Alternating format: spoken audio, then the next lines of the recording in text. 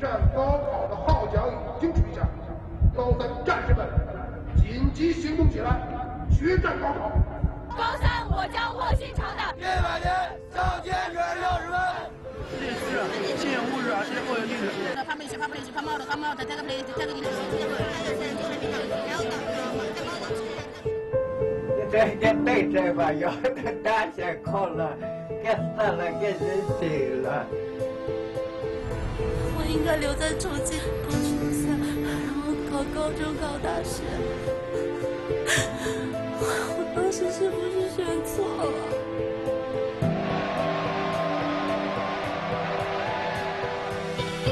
我就压根不喜欢读书，你让我读书，用我的青春来证明他们的错误。大学虽然大小周对吧？监管英语和对吧？月平不考会死的更惨，考了还有希望。别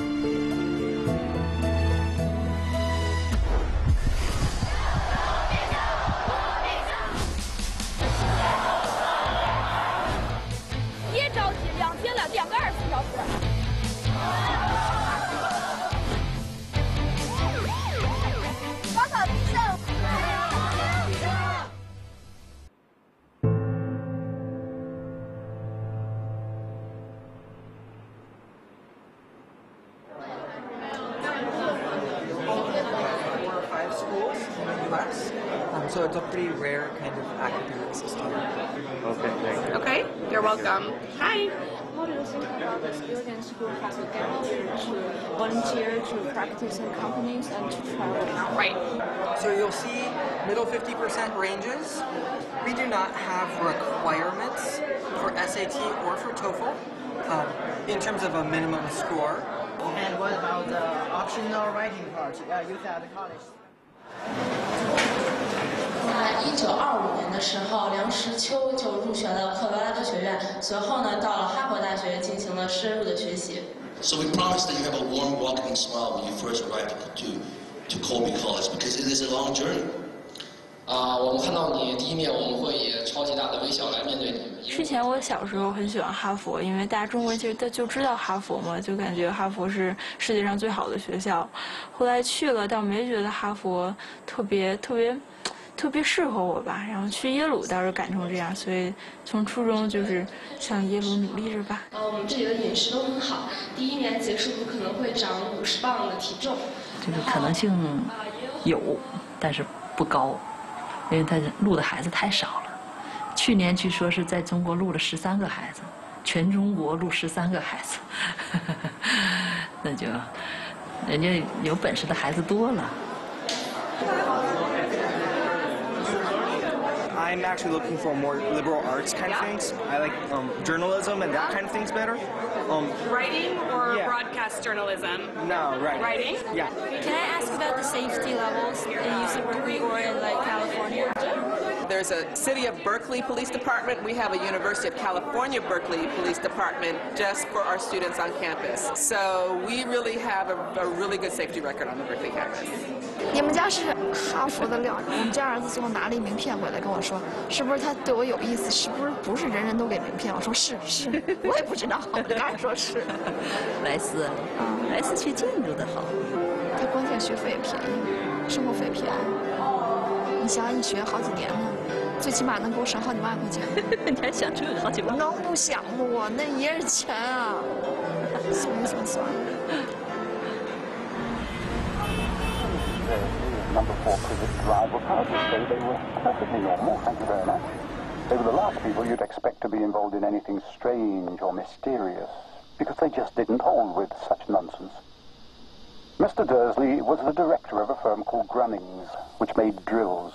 对我来说，其实很小就感觉是我自己和家人，就是感觉就定了我会出国，而且出国很早就是定了我会去美国。他俩一直是感觉就是美国大学要比国内大学就是先进一步，因为你想北大清华排不进前三十呢，对吧？所以在美国任何一个前三十的学校都很好。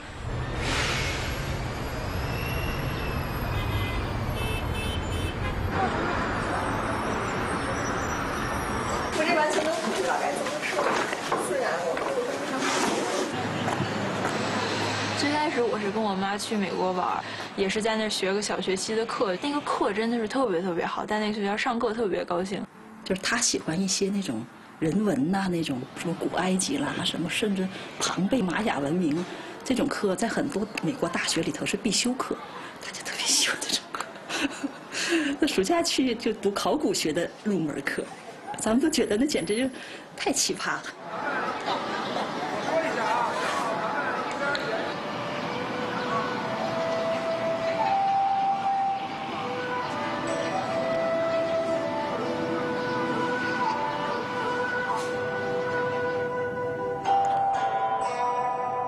我们每天都要背很多单词，要学很多 SAT 的知识、托福的知识。现在，我们静静地坐在这里，放空自己的心，让自己安静下来。咱就战略目标是是去个好学校，对吧？所以你把分要考到两千三百五，你这概率会增加，你知道吗？什么时候又变成两千三百五了？刚才还两千三呢。坦率的说，你就已经是两千三的水平，明白？但是两千三的水平，你如果不把这些细节解决，那可能还给你变成两千二百多。我是一个方方法论者，我不是特别的聪明，但是呢，我特别喜欢研究前三名的学习方法，所以我不需要比他们聪明，但是我还可以是前三名。那么你们在美国如何能把成绩考高一点呢？我我教大家几招，就把你那几个常容易犯的错把它背下来，你就很快可以在所有的考试中取得非常好的优势，不光是 SAT 考试。我做完一套，你说的对，错了几道，没对，赶紧对，要留一套啊。啊？那我不做了，还要留一套，到那个考前那天做。爸的电话来了。那会儿是九九年的时候，他两三岁，我当时就想好了，这个孩子英语一定要把他练出来，所以他不到五岁我就给送他学英语去了。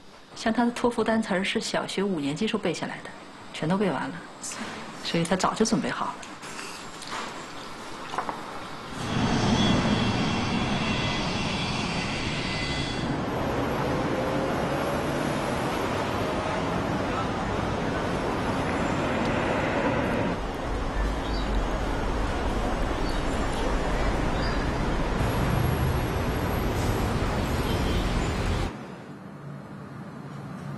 行了，我走了，你学习。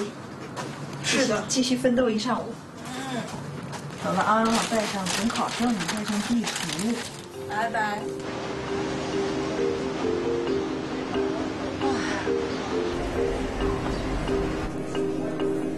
台湾线。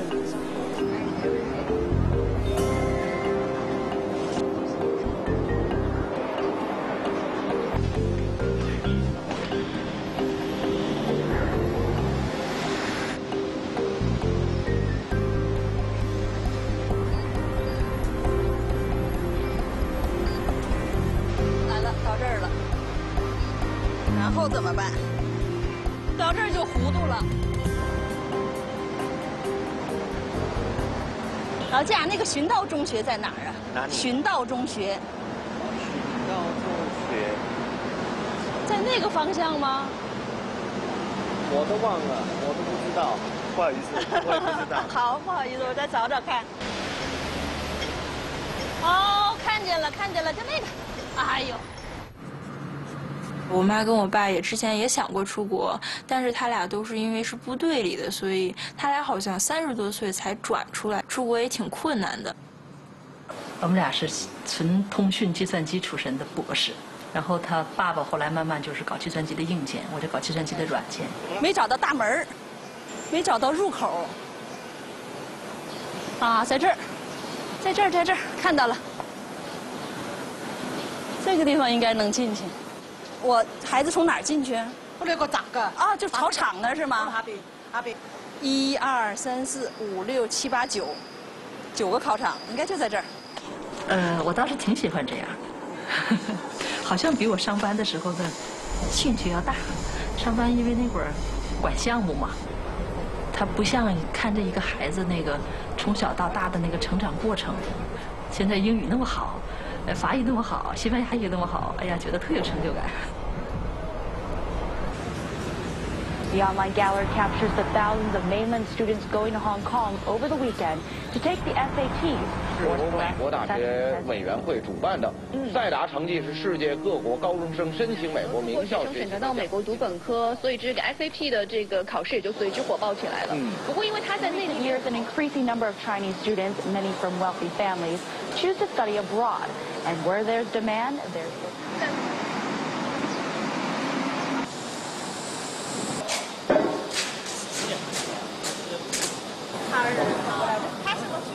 六月份这是最后一次，还是要想往高的考。本来这个本地的孩子就在增加，而且呢，同时有一大批在美国读高中的中国孩子，他竞争的也是国际国际生的名额，高分的孩子才有胆量去申好学校。因为你分太低了的话呢，他就会担心，我连第一关都过不去，就给筛掉了。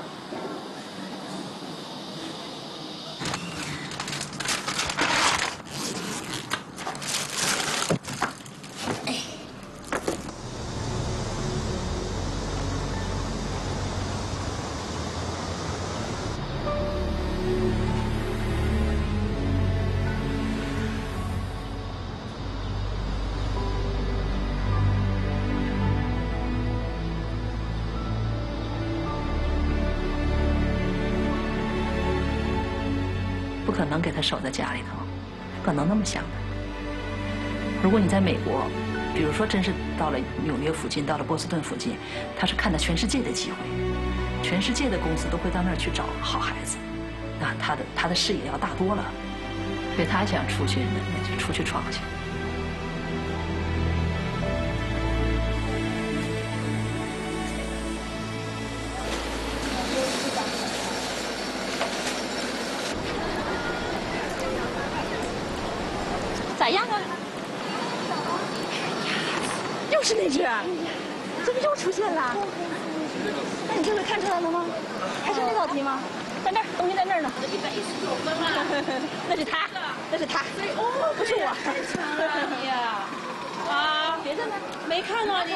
强呀！一百一十九，那这次我估计你要考两千四了。两千四，上两千三就不错了。谁骂妈妈的？谁夸妈？对呀，别骂了妈妈的？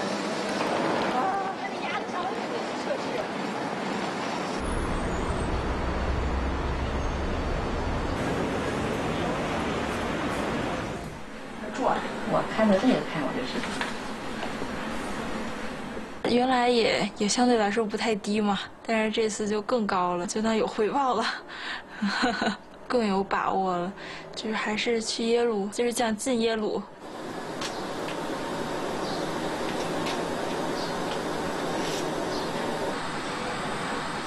它不像高考，你就是考了两千四满分，你就考了一百二的满分，不一定要呢，因为他看中的某某一项，你不知道他是哪一项，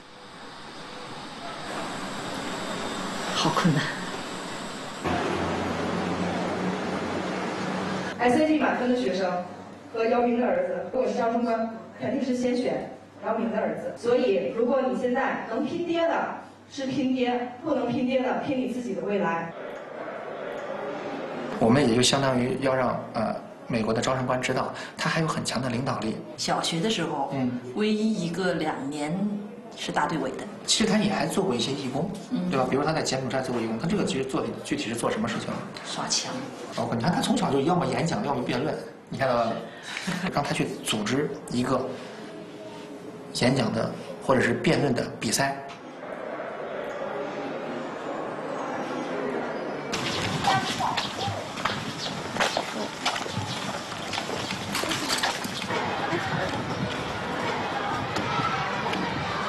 那比如说现在有一个题目说，教室的墙面应该涂成白色。那如果是这样呢，有没有同学觉得涂成白色会非常好呢？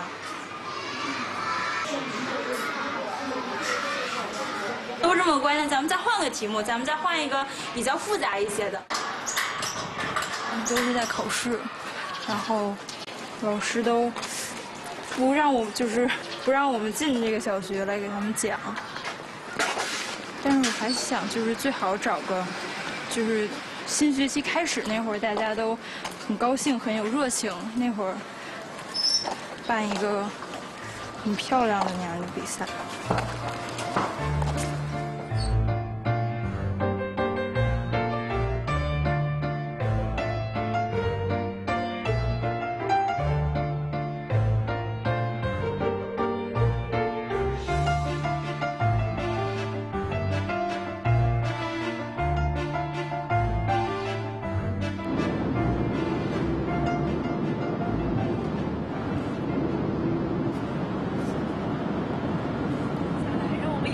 周成刚老师，有请周老师。有请。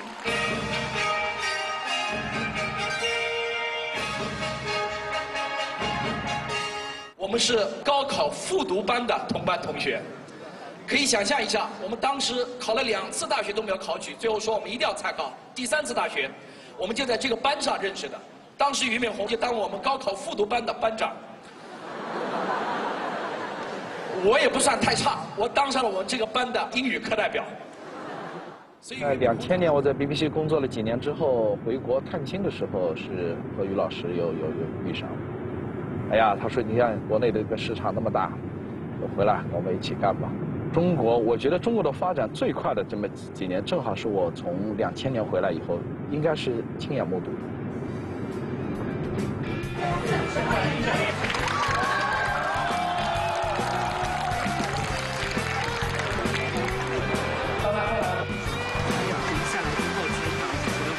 了你的一本书，看完了你能帮我签个名在这里吗？这个书不是我的，是人家瞎编的。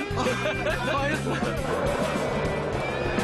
这个现在这个留学已经不是东南沿海的几个北北上广啊，现在你到四川、到成都、到重庆、到西安，全部在产留学。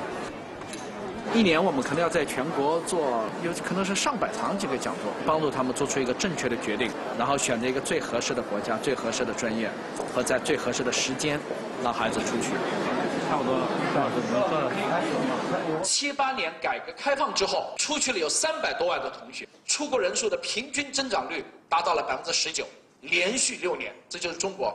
所以，我想告诉你的是，现在在世界任何一个留学目的国，无论是美国、澳大利亚、加拿大、新西兰、英国，全部最多的留学生都是中国人。家长的那个焦虑的那种神情，对，那种渴望的眼神，纠结的内心，我说真能够看出来，这个孩子真是，这父母的这个，父母这个这这我们从我们俩自己身上可以看出来，我说呃我为孩子焦虑的睡不着觉那种感觉。是啊。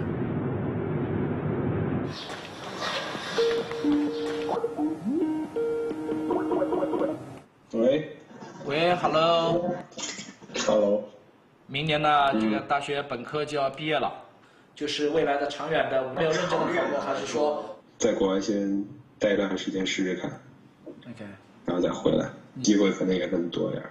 嗯，大部分情况就是先到我自己孩子身上的时候，看看有没有我也在思考，他是参加中国的高考，还是参加洋高考？中国，呃，这个高考和洋高考的过程当中差异是比较大的。中国的同学可能更多的是追求全面的发展，啊、数理化要好，呃，德智体要好，呃，各方面都要好。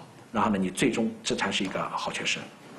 海外呢，只要你在这个各个方面领域里边有一方面有特长，你就有发展的可能。那么这样的话，对每一个同学来说，他的机遇也就更多。我在这地方，我再一次的呼吁我们的家长，尤其在座的家长，我估计你的孩子都是无比优秀的。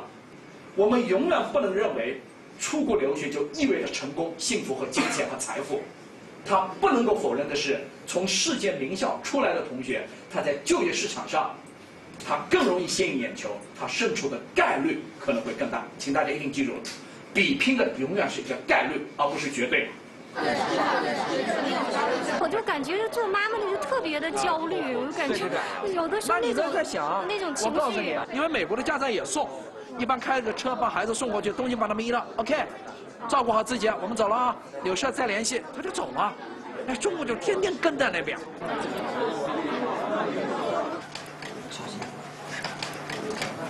students, they're really lazy compared to all Chinese students I talk to. That's the problem. Freedom.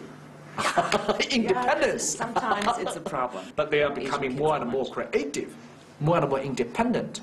That's good. More and more involved. They've got the vision. That's important because more and more kids are going out for different degrees, and more and more, more kids are they're coming back. They're, they're sort of like influence the, the social trend. They're sort of like influence this world.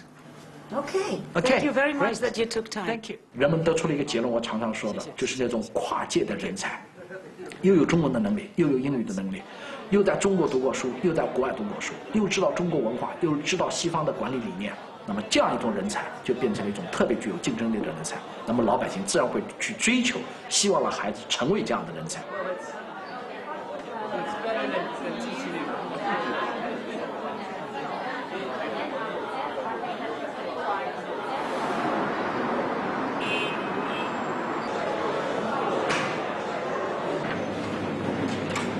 来说，就是真正要过去学什么，你还没有确定。父母有没有给你一些提示呢？他们很和 就学商啊，啊，每个人都学商科，对。对我们就数学同学百分之六十、七十，数学好不好，反正都学商科，回来都去投行工作。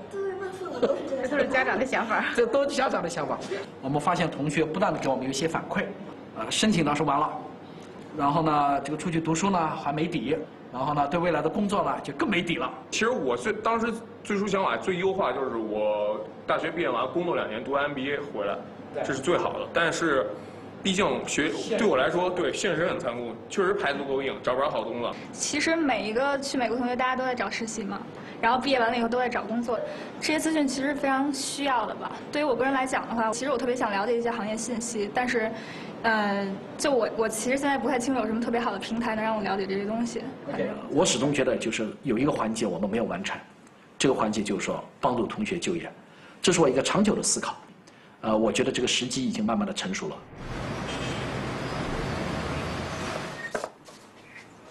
呃，那个老于呢，你跟他说一下，我们这边准备好了，三零零二，他是不是还要送一波人？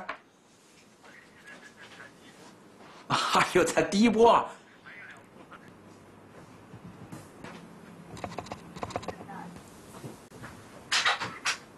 哎，第二人，啊，没有。没找到，不好意思，不好意思。没事没事没事没事。我一直想跟你聊的一个话题就是说，呃，为了把这个这个出国留学咨询把它做好，所以有一部分人呢开始做前端。但是我发现现在就最后一段是没人做，最后把他们送出去了以后，能不能再让他们回来进行就业和工作？哦，这个是可能是家长关关注的一个终极目标。是这样，我们把我们的人才委托给呃世界最先进的学校进行培训，完了他们回过来又服务于中国的建设。这个你想，这个路径怎么会有问题呢？肯定没有问题嘛。对。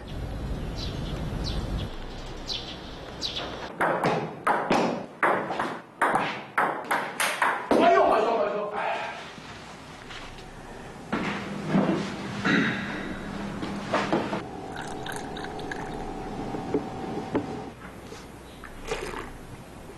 我都不记得了，你上一上一次回来是什么什么时候？好像很长时间了。上一个暑假。啊，这次回来的时间特别短。然后你们是明年是什么时候毕业？五月份。那那你找工作，你上次我记得是在百度实习的。嗯。那你找的工作是是不是一定要信息管理呢？还是说呃其实不在意，就是可以找各方面的工作来锻炼呢？其实我学这信息管理，它可以找工作的范围还比较广，可以去试试看，比如说人力资源那样的部门部门的工作都可以。就是你们那个打篮球的那个那个刺青那个那个那那我看一下看那个那个上次我还没仔细看过呢。对。哇塞，我的妈，这么大的一个刺青，你看你去搞这么大一个刺青也不跟爸爸妈妈说，怎么会一个骷髅的在在这上面？你看这个中国的中学生、大学生里边，我估计有吗？会有这样刺青的吗？现在我觉得刺青的人越来越多了，越来越多了，所以应该应该会有这种，我觉得。我不鼓励，就是小时候这么三岁五岁就出国了，那就你就变成了一个外国人，你最后也就回不来了。到老家，到上海，再到江阴，去看看外公外婆、爷爷奶奶，好吧？是。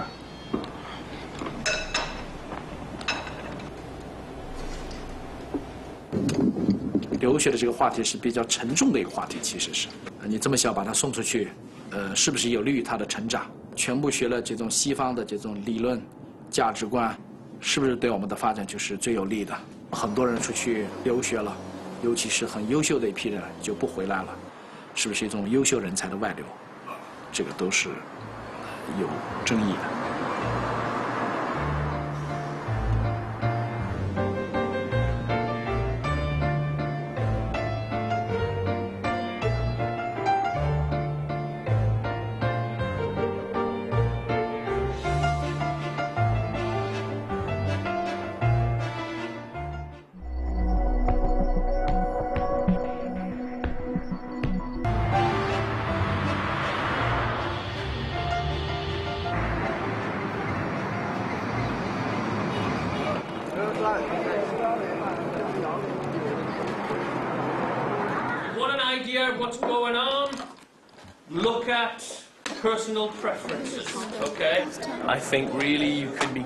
Somewhere in the region of 25 for speaking.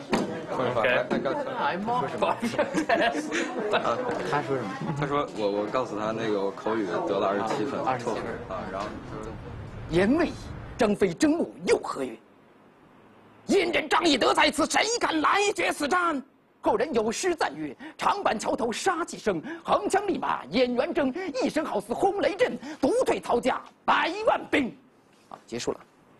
母语、国文、中国文化，很多时候在这个学校，在分数上体现的不是太明显。这是有点，甚至有的时候有边角余料的那个感觉。莱坞的一个气息，你看到没？这是我我个人觉得这是中美文化杂交的一个产物。它非常威猛，是吧？哦，对。但是除了威猛，还有别的吗？在这一段里，嗯，一一陈述。在除了威猛，还体现出别的没有？嗯，就是比较的，呃，怎么说？用英文来说就 aggressive，就是那种。那么来这儿之后，他其实上英语是他的一个，呃，几乎变成一日常用用语去了。他们要参加很多的活动，然后又要参加很多的考试。然后下个学期他们申报完，就再见了，就去美国了。觉得王老师这么激动，如此深情，这个有点这个，上课是不是没吃药或者怎么样的？有有有有这种有这种，我感受出来。我是你们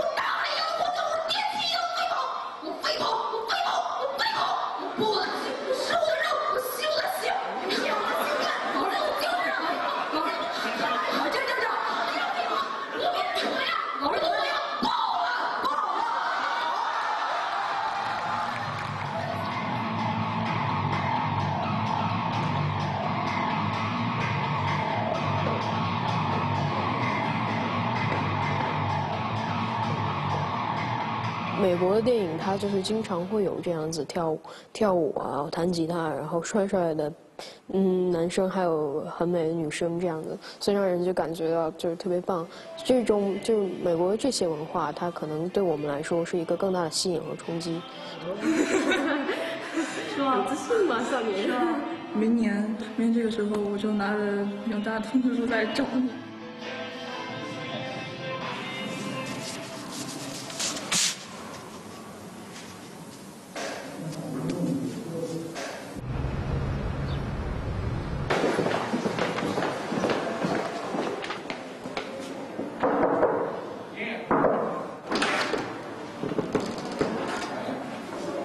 想这个开一门这个就是国学或者说中国文化的那个选修课。嗯，这个呢，学校肯定是非常支持，但我得给你一个小小的提醒，因为你这种尝试呢，在学校不是第一次了，之前有两位老师曾经尝试过，效果都不是很好啊。你要在学生当中做充分的调研，算是带着镣铐跳舞，嗯，走钢丝绳，嗯，准备一节这个所谓的示范课吧，我们会组织一批人去听，如果中文这个孩子们没有引引起足够的重视，我就只能自己散发出魅力，吸引他们。我作为他们出国前的母语教师，任重而道远。现在这个情况真是挺困难，我跟你说，吃一堑长一智啊。就是我那个时候呢，就感觉啊，就是一种孤军奋战的感觉。我们是满腔热血，结果学生们呢，冷若冰霜。有时候我觉得特别有价值，热血沸腾的时候，学生这个一点反应都没有。就是有的时候你就算站在荒漠里面，对，就是而且是深夜的时候，对，你振臂一呼啊，一个人都没有，一个生物都没有。对，而我自己，他甚至嘲笑你，搞什么呢？他就这样。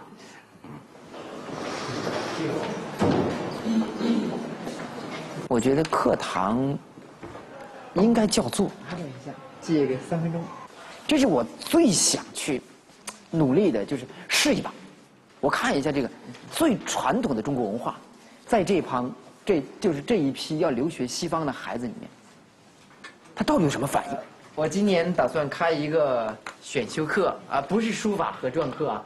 好，大家这个在 A、B、C、D 里面选一个单项选择啊。你喜欢哪一门你就选哪个。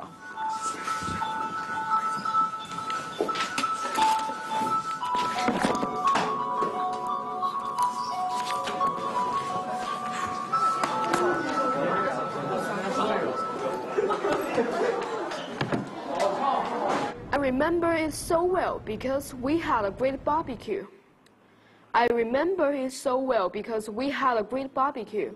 it was prepared by churchill 华夏农耕文化的同化力有所减弱北方游牧民族的大举进入中原曾经造成史称五胡乱华和南北分治的局面然而游牧文化无疑又给中国文化带来负壮和古劲的作用。继秦汉之后非常文化就像一个店子卖不出去关门倒闭一样。这个人是最伤心的。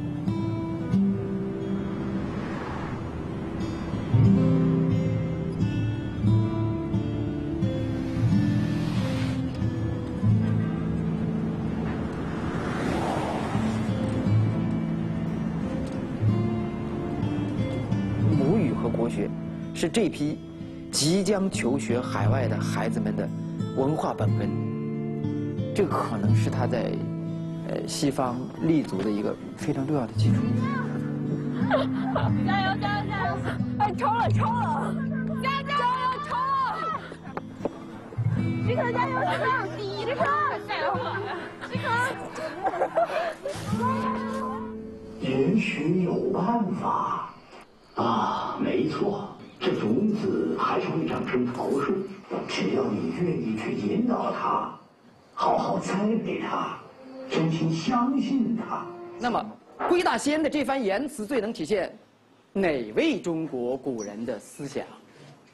先看一下老子、孔子、墨子、孙子，这啥思想？一般的什么人会这样？更不知道，我不问这个问题了啊，就更麻烦了。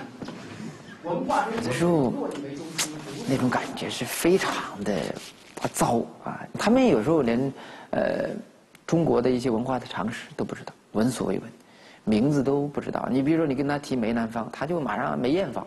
把这个重担交给您，对您来说是一个挑战，对学校来说是一个挑战。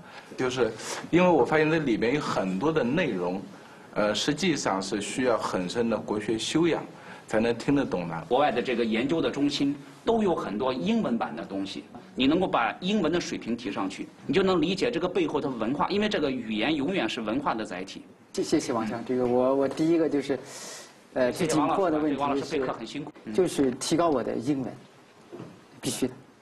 很多事情是这样的，如果没有难度，就没有挑战性，没有挑战性也不够刺激。我是越来越想做这个事情，确实。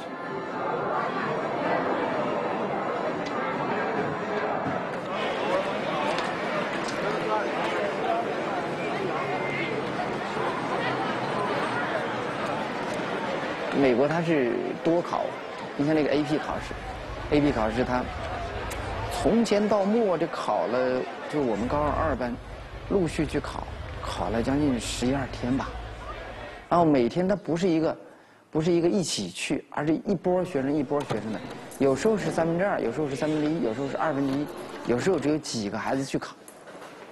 那么这个教室的这个人几乎是流动。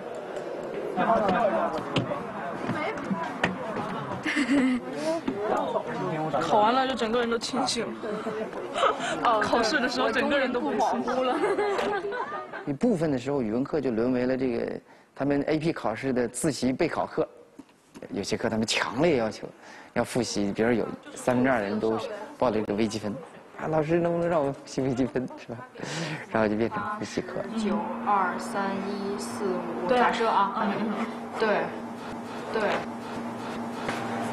哦，上午考了四个小时是吧？是啊。是四个小时吧？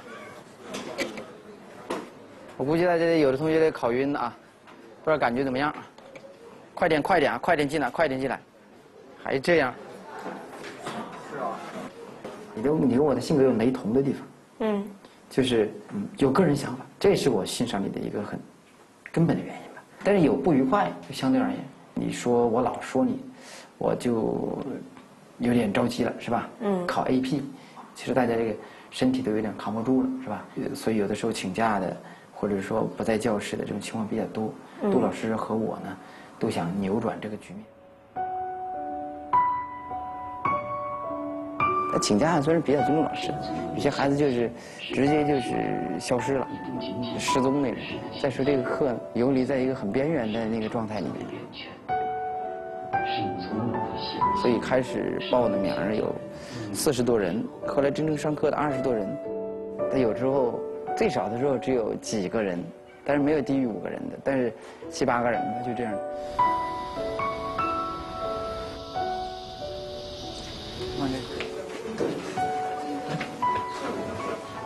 稍后啊。好，我们开始上课了啊。这个大家把那个呃名字自己的名字后边在第十周后边打一个勾就行了。然后孟小雨就做一个统计，你看一下是不是九个同学啊？书目国学的书目，至少你要知道一个常识，国学的基本常识，首先该看什么？四书在最前面，今天还算可以吧。其实这人数也不是绝对的。我觉得我讲课的时候，我看到那个孩子那种就是闪光的那种眼睛，就是。我是这么看这个事儿。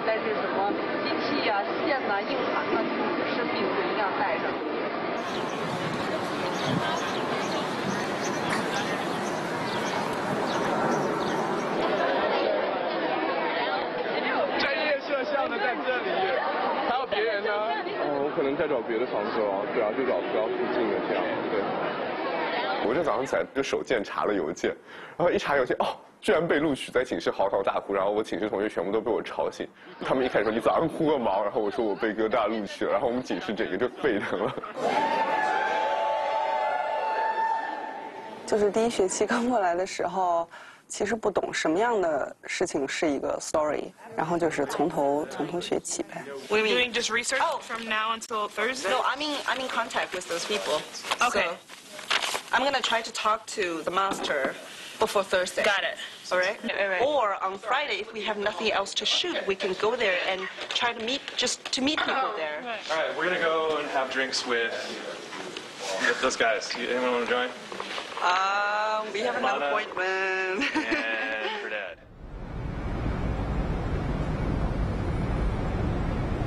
在做新闻的过程中，你会接触很多人，然后你会了解很多事情，成长的速度有超出我的预期。Deadline 是今天，I'm always the last minute guy。所有人对我的 writing sample 都觉得非常的感兴趣，有很多的机构像 Financial Times 想要我 pitch，因为我跟秋月现在在做一个 in city migration 的 story，有人想要也想让我 pitch 那个 story，然后他们看可不可以买。So the lesson learned was uh, sometimes it's okay to be a smartass as long as you're being honest. 它让我更好的知道我是谁，因为我知道我能做什么，我知道我的兴趣是什么，我知道我真正关心的是什么。One train to.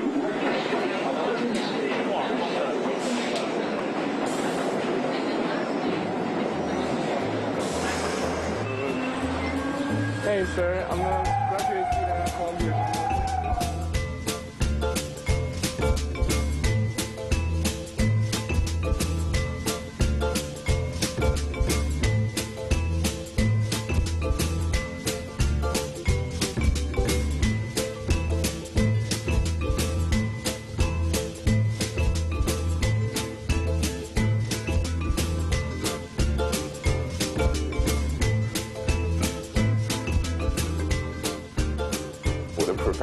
他说我有非常好的 reporting skills，他说我是 naturally born reporter，他知道我有 insight，他知道我能发现那些 the most convincing details，但是就是我怎么写和怎么看这个事情，总是让他觉得 Wei Xiong is doing Chinese journalism。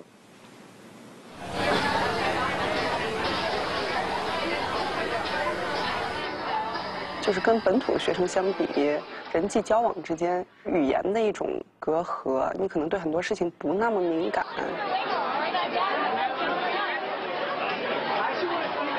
我其实很多时候非常的 self conscious，所以我也很怕被拒绝。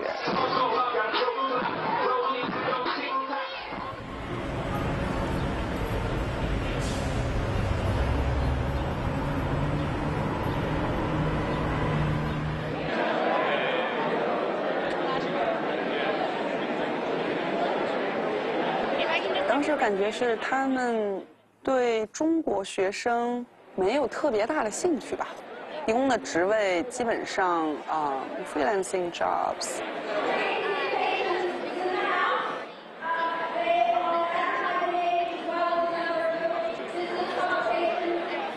其实我实话实说，我现在在一个一个 rising 的这么一个 status 上面，很现实的一点是，谁想要一个 Asian 来帮他们做 American news？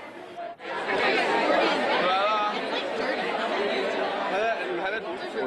呦，好烦！我下午中间抽时间嘛，我要面试一下 Wow 的，因为我明年学 Arts and Culture，他应该会要做 freelancing。对，下下午那两个人我根本就不会中啊，Physical Times 和一个什么来的。对，我毕业之后，我现在想说我不做 journalism，从明年开始我回来之后，我开始找 fundraising 或者说 PR，然后 marketing 的 job。觉得怎么样？大部分人都说哎还不错，挺挺好的。但是几个人最后能有点什么东西呢？就而且都是那种啊什么，你可以后面给我们 follow up。哎，这种都是其实就是没有要招人。所以我其实去的时候没有要 full time job，我跟他们说，就是你如果可以给我一个 freelancing job 的话，我说我愿意 take。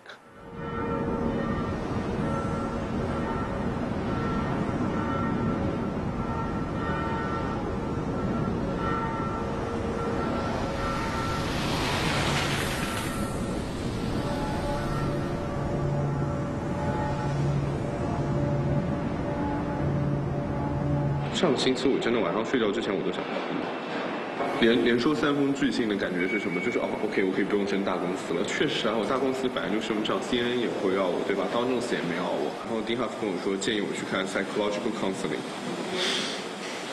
然后可能在美国不是一个大事，他说大家都怎么样怎么样怎么样，移民的政策还是就业的困难，各种各样文化的问题。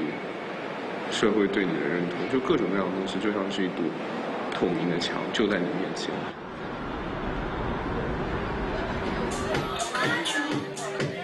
其实我们在这儿，因为学费其实也挺贵的嘛。是我经常、经常、经常怀疑我的学费交到底值不值？到底值不值？我已经怀疑了一年了。自己工资都他妈开起来了，我说三年还别三年还要花一百万，对吧？那你这一百万干什么不好？这是第一个，对吧？还五十万给爸妈，剩下五十万自己拍东西足够了。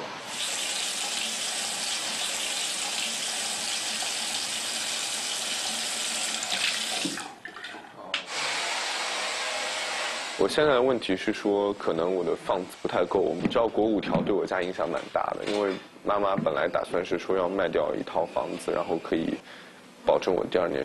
因为国五条现在卖房的事情暂时有一点困难，就卡住了。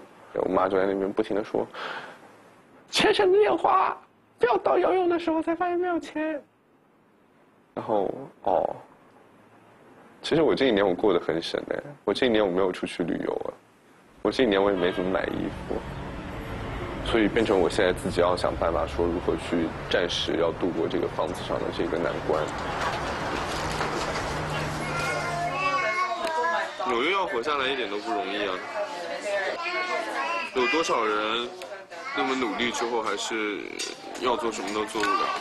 所以，我一开始来纽约到现在，有一个感觉就是。没有根。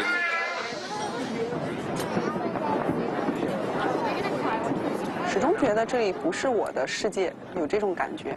整体的大方向，我想还是回国。回国的就业机会肯定要比在美国要多。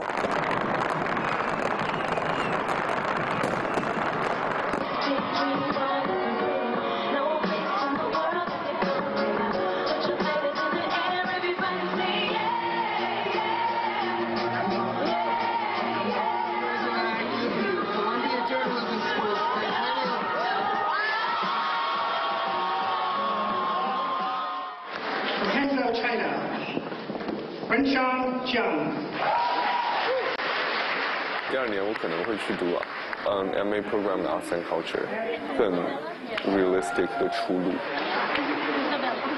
有一个飞机刚刚降落，哎，你看就跑道上滑行的呢。中国在发生很多很多的事情，有很多的故事可以说。与其关心美国社会的发展，我不如回去看一看中国社会的发展。好不容易把所有东西塞进了两个箱子里面。还扔了一堆东西带不回去，我要回中国去了，拜拜。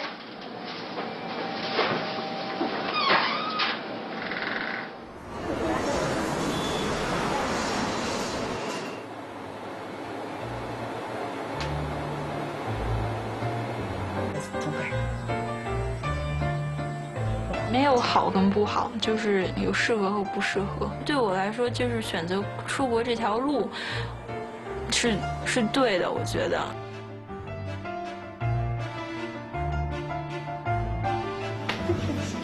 就给你免费提供什么什么，回国的时候我还给你提供免费的什么？我不知道说明白没有？马上就可以对前面有一个促进。